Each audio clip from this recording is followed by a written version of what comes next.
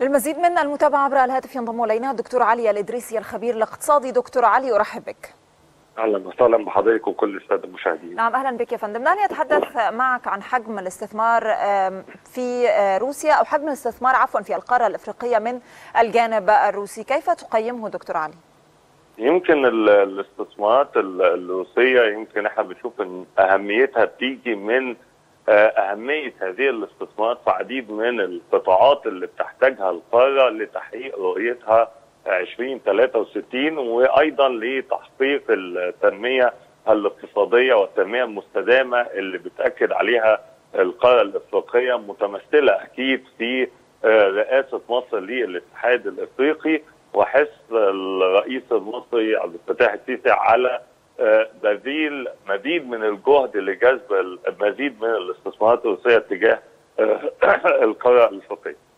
الفكرة نعم. تيجي إن القارة الإفريقية في الوقت الحالي فليها عديد وعديد من الخطوات المرتبطة بتهيئة مناخ الأعمال ومناخ الاستثمار في القارة وده واضح من الجهود اللي القارة بذلتها اتجاه البنية التحتية واتجاه مكافحة الفساد والعمل على التنسيق ما بين بعض السياسات النقدية وده يمكن كان واضح في ربط البنوك المركزية والتعاون والتنسيق ما بينها وما بين بعض السعي أيضا لتذليل كافة العقبات أمام المستثمر. ويمكن من ضمن أهم العقبات ديت هو إن النجاحات اللي كانت بتحققها القارة الإفريقية هي نجاحات فردية. يعني بنشوف تجارب فردية. يعني تجربة مصر هي تجربة ناجحة جدا. تجربة المغرب تجربة جنوب أفريقيا. رواندا وغيرها من الدول هي كانت نجاحات فرديه لأول مرة نبتدي نشوف إن في منطقة تجارة حرة تبقى موجودة وحيز التنفيذ ويتم الاتفاق عليها. إزاي إن دوت يبقى عامل جذب للمستثمر الروسي إن هو يضخ استثمارات ويقدر يستفيد من 1.2 مليار نسمة. سوق ضخم جدا يقدر إن هو يضخ فيه استثمارات ويقدر إن هو يستفيد منه. بجانب طبعا الموارد اللي بتمتلكها القاره الافريقيه سواء بنتكلم على الثروات المعدنيه أو بنتكلم على غيرها من الموارد اللي بيميز القاره الافريقيه عن باقي القارات. ده جزء، الجزء الثاني إزاي ان كمان دلوقتي في خطوات إحنا شايفينها اتجاه التكامل الاقتصادي الافريقي فدوت اللي يقدر يشجع المستثمر الروسي ان هو يبقى موجود بشكل أكبر الفترة القادمة وعدم اقتصار حتى أوجه الاستثمار ديت في قطاع واحد. ولكن إحنا شايفين إن في تعاون ابتدى يبقى موجود وفي فرص واعده القطاعات ويمكن أهم القطاعات اللي بيتم توجيه الاستثمارات الروسية فيها وفي جهود بتبذلها القاره الإفريقية ومصر بتبذلها إن إن ترفع من حجم الاستثمار. في هذه القطاعات إحنا بنتكلم على بنية تحتية بنتكلم على سكك الحديد بنتكلم على المشروعات المرتبطه بالطاقة. واحدة من أهم الملفات اللي أكيد تأمين مصادر الطاقة هو سبيل أمثل لتحقيق مزيد من معدلات النمو الاقتصادي سواء في القاره الإفريقية أو في مصر على وجه التحديد. وبالتالي إزاي إن إحنا نقدر نستفيد أكيد من الاستثمارات الروسية وأيضا نقدر نستفيد من الخبرات اللي موجودة. ملفات عدة مرتبطة أيضا بالصناعة وعلى سبيل المثال صناعة السيارات واحدة من أهم الصناعات اللي يمكن دول كثيرة في القارة ابتدت تتحرك في الملف دوت ويمكن مصر على وجه التحديد زي إن هي بتتحرك عليها. يمكن بالنسبة حتى لمصر موضوع المنطقة الاقتصادية الروسية إزاي إن يبقى في التزام بالجدول. الزمني الموضوع ل فعلا إنشاء هذه المنطقة وتحقيق المنافع المتبادلة، إحنا هنا هو بنتكلم على الاستثمارات الروسية ليس من منطلق استفادة القارة الإفريقية مم. فقط ولكن نعم. لتحقيق منافع متبادلة ومصالح مشتركة تحقق تحقق المزيد والمزيد من العوائد والمصالح لجميع الأطراف في ظل الصراع والتنافس الواضح جدا خلال الفترة الماضية ما بين عديد وعديد من الدول الصناعية على الاستحواذ على أكبر نصيب ممكن من الاستثمارات والتبادل التجاري ما بينها وما بين القارة الإفريقية في ظل مواجهة الاقتصاد العالمي لعديد من التحديات. أبرزها هو تباطؤ معدلات نمو الاقتصاد العالمي اللي يمكن شفنا صندوق النقد الدولي كان اعلن إن معدلات النمو متوقع ليها في نهاية 2019 إن هي تصل لحوالي 2.6% نعم.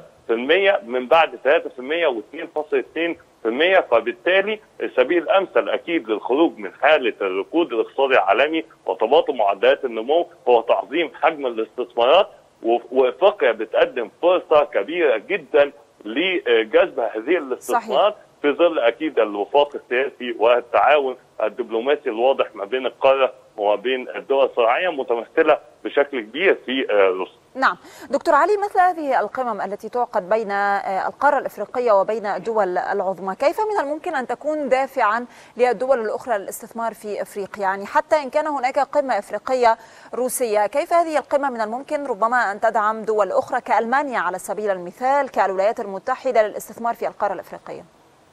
أكيد المستثمر وثقة المستثمر الروسي بي بيتم انتقال هذه الثقة لمستثمرين آخرين في ظل التحسن الملحوظ في سهولة الأعمال ومؤشرات أخرى كالتنافسية العالمية في عديد من الدول الإفريقية. ده جزء، الجزء الثاني إزاي إن إحنا شايفين دلوقتي مصر عندما تتحدث عن إفريقيا تتحدث عن تحسن كبير جدا في عديد من الملفات أهمها هو ملف مكافحة الفساد. م. واحد من أكبر المعوقات اللي كان بيواجهها المستثمر سواء الروسي أو أي مستثمر من إحدى الدول الصناعية الأخرى. وبالتالي مكافحة القارة الإفريقية للفساد الجهود اللي الدول الإفريقية ابتدت تبذلها يمكن من من 2018 ومصر كان ليها يمكن دور كبير جدا في الملف دوت.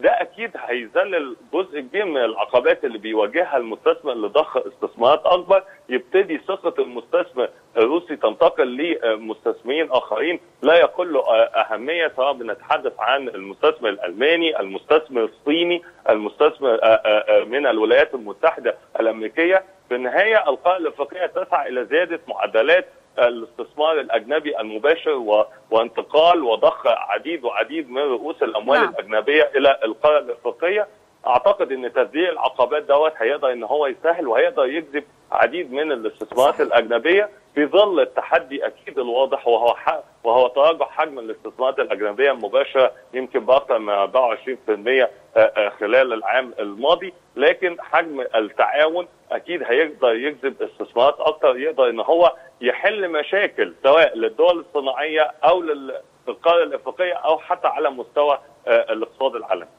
نعم دكتور علي أيضا في ذات السياق يعني كما تعلم أن القارة الإفريقية هي القارة الواعدة والبعض يطلق عليها قارة المستقبل في الفترة القادمة، السؤال الآن ما هي مواطن القوة التي من الممكن أن يستثمر فيها الجانب الروسي أو التي تهم الجانب الروسي للاستثمار فيها؟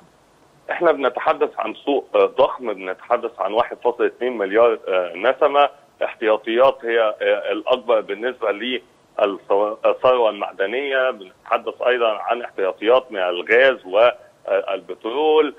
إمكانيات بشرية أصبحت تتطور بشكل سريع جدا الفترات الماضية.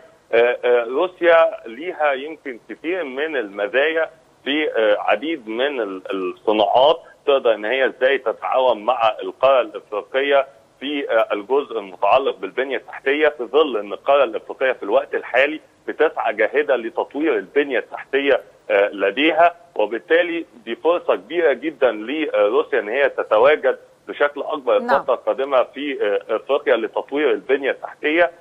نتحدث عن مشروعات مرتبطة بالنقل نتحدث عن مشروعات مرتبطة بالسكك الحديدية في القارة. كمان إزاي إن الدول الإفريقية الفترة ديت أعادت الحديث مرة أخرى عن مشروعات كانت معلقة لسنوات طويلة جدا. كمشروع القاهرة كيب تاون كيف يكون للاستثمارات الروسية دور كبير جدا في هذا المشروع إنشاء المناطق الاقتصادية في عديد من دول القارة من ضمنها أكيد مصر. ده برضه فرصة كبيرة جدا للاستفادة من موقع مصر الجغرافي والموارد الموجودة لدى الاقتصاد المصري. أكيد هتعود بالنفع على جميع الأطراف.